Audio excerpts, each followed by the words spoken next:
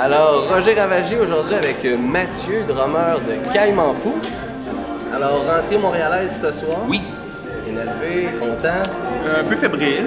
J'ai été euh, hier, en fait, j'étais plus nerveux qu'aujourd'hui. Là, aujourd'hui, ça va bien. On a fait un beau centre on s'est bien installé. La salle est merveilleuse. Donc, euh, ça va, je suis quand même euh, calme. Un peu fébrile, mais calme. Surtout depuis le temps que l'album est sorti. euh, Oui, on a quand même eu la chance de le tourner. Et là, ce soir, c'est vraiment un nouveau spectacle qu'on présente. OK. On avait fait des. Il y, a- il y a des éléments de projection et tout ça. Donc, ça, ça fait. On a commencé à travailler ça il y a un bout. Donc, on a déjà intégré ça dans des spectacles euh, auparavant.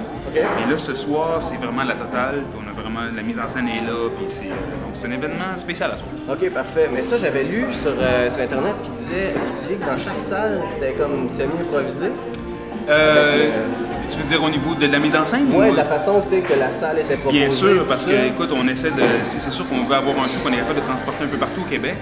Mais évidemment, les contextes de chaque salle sont très différents. Et puis, euh, souvent, dans les plus petits endroits où on joue, ben, on n'a pas, la- on n'a pas les moyens de s'installer de façon aussi euh, complète qu'ici, disons. là.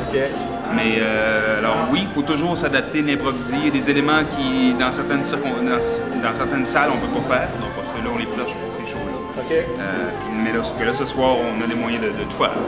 Ben ouais, c'est cool. Mais moi, quand j'ai lu ça, j'avais comme l'impression, l'image, du groupe qui part avec sa malle, tu sais, l'espèce d'autobus bric-à-brac. Là, vous arrivez, puis OK, là, on se ça de même. Ou comment ça se faisait quand vous arriviez sur les lieux? C'est pas mal ça. C'est Ah pas, pas mal ça. C'est-à-dire qu'on on s'est arrangé pour avoir un setup qui est vraiment très portatif quand même. là.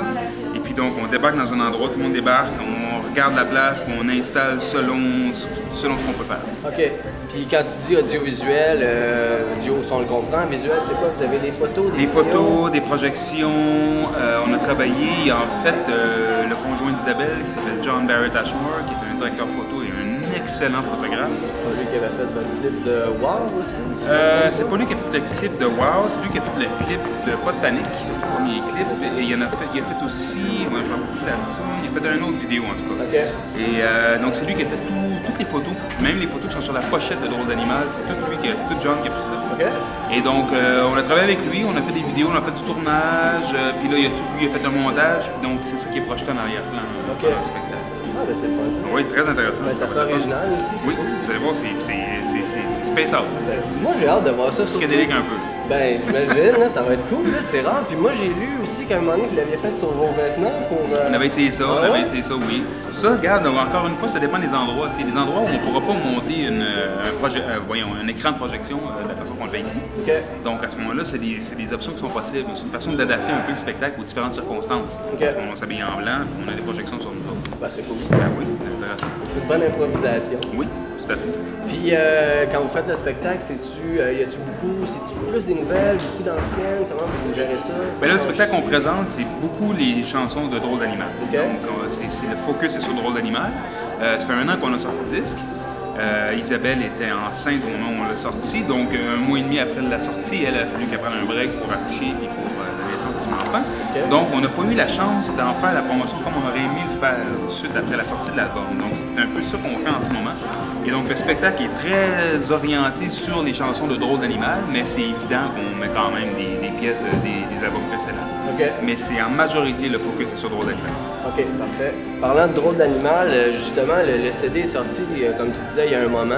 Euh, là, je crois que le monde va avoir eu le temps de, de de l'écouter, puis je pense de l'apprécier quand il va arriver live. Mhm. Euh, le CD, justement, quand on l'écoute, il y a plusieurs chansons qui ont été écrites par Isabelle, mais il y a trois chansons qui n'ont pas été écrites. Vrai, oui. Qui avaient été choisies. Comment vous avez choisi ces chansons-là? Ben, écoute, c'est un peu euh, spécial. C'est un, en fait, la, si je ne m'abuse, parce que c'est Isabelle qui, fait, qui s'occupe des textes, donc euh, si je ne m'abuse, les trois morceaux viennent d'un recueil de poésie. Je suis pas sûr que les trois viennent du même recueil, mais en tout cas, c'est qu'Isabelle s'est fait donner, on, était, on faisait un spectacle à Sorel. OK. Euh, ça, c'est un hiver, il y a peut-être 3-4 ans de ça. Et euh, il y a quelqu'un qui, qui a approché Isabelle et qui lui a remis un espèce de recueil euh, de poèmes d'amour. Alors, c'était un livre un peu en rouge, en satin. là. C'était un peu, c'était un peu quétaine. Isabelle a regardé ça un peu au début, puis elle trouvait ça, ah, merci, mais elle était pas trop sûre. Sais. ouais. Mais en fait, elle a commencé à regarder les poèmes et elle a trouvé euh, des poèmes très, très, très intéressants qui ont vraiment bien marché pour certaines de nos chansons. Fait que donc, c'est comme ça qu'on a trouvé, qu'elle a trouvé, en fait, Isabelle a trouvé ces textes-là, euh, dont Amour poursuite, par exemple, euh, qui vient de ça. Et donc, euh, voilà, c'est ça. Donc, pour ces trois, pour ces trois morceaux-là, ça vient de là. Le reste, évidemment, c'est Isabelle qui les a composés. Ok, mais c'est un bon choix quand même. Quand on les- quand on l'écoute, on a l'impression vraiment que c'est quand même elle qui les a écrits. Tout à fait, c'est que ça, ça, ça fit vraiment dans ce qu'on voulait dire puis dans, dans la musique. Fait que c'est- C'était parfait. C'est pas... ben, c'est ça. Sur la dernière chanson, il y a la, la, la- la chorale. Chorale. Comment c'est venu l'idée de la chorale?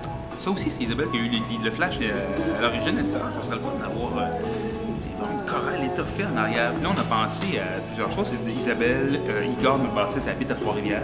Isabelle vient de Trois-Rivières. Les guitaristes, c'est Nick, ils, ils viennent aussi de Trois-Rivières. En fait, je suis le seul qui vient pour Trois-Rivières. Et euh, donc, eux autres étaient euh, au courant, en fait, qu'il y avait des petits chanteurs euh, à Trois-Rivières. Et donc, Igor était, habite à Trois-Rivières, donc lui, a fait la démarche de prendre contact avec ces gens-là, puis de voir s'ils étaient intéressés, si c'était possible. Puis on a dit oui. Donc, on s'est tous rendus à, à- à l'école, à Trois-Rivières. Puis pendant, on a, on a fait une session d'à peu près, je dirais, ça a duré 2-3 heures. Puis on a fait chanter les jeunes, on avait la musique en arrière-plan, puis on a enregistré, puis on a fait chanter les jeunes. C'était super. Ah, c'est cool. Ouais. Eux autres qui ont aimé ça aussi, j'imagine? Oui, on a trouvé ça drôle un peu parce qu'à la fin, il était un peu fatigué. Il avait bien hâte que ça finisse puis d'aller à la récréation.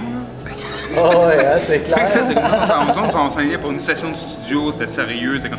Puis les jeunes, après un an, c'était comme, hey, c'est fini, là, on, on, va, on va aller jouer dehors. Et puis les jeunes, hein, ça, se- ça se gère bien. ça. Mais ça a super bien été. Ah, c'est cool, c'est cool. Euh, avant de te laisser, on va faire le quiz. Ah oui, le quiz. Le quiz Roger. Aujourd'hui, le quiz Roger, c'est drôle d'animal. Tu un drôle d'animal? Ouais, très. Ouais. Moi, j'étais un gars bizarre. Va être funny. Ouais, ouais, j'étais un gars euh, drôle d'animal, c'est parce que ça s'applique à tous nous autres, ça, drôle d'animal. Nous autres dans le band, c'est un commentaire général aussi sur l'humanité, le fait qu'on est tous des drôles d'animaux, on est des gens un peu. euh, la normalité, ça veut pas dire grand chose en réalité, hein, on a tous nos petits. euh, nos petites euh, idiosyncrasies personnelles, on pourrait dire. Donc, euh, oh oui, moi je suis définitivement un drôle d'animal. C'est bon. L'animal de compagnie?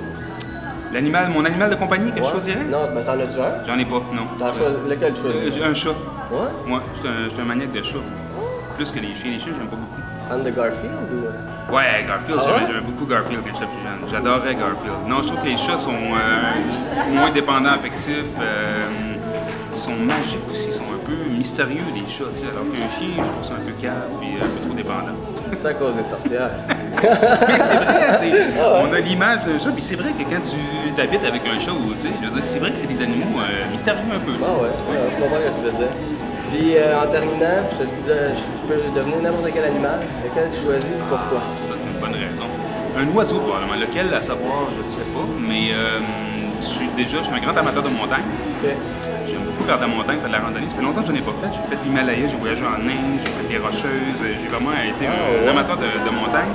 Donc, euh, évidemment, c'est le plaisir de faire de la montagne, c'est- beaucoup d'efforts, mais quand tu arrives au, bout, tu vraiment une récompense. C'est magnifique ce que tu vois. Donc, je pense que si j'avais à choisir un, un animal, ce serait un oiseau. Un oiseau qui me permettrait de- d'explorer euh, le monde en hauteur. Je pense que tout le monde a une partie d'eux qui voudrait être un oiseau. Exactement. Eh bien, merci super gros, Mathieu. Ça me fait plaisir. On retrouve. Oui, merci. Yes, sir.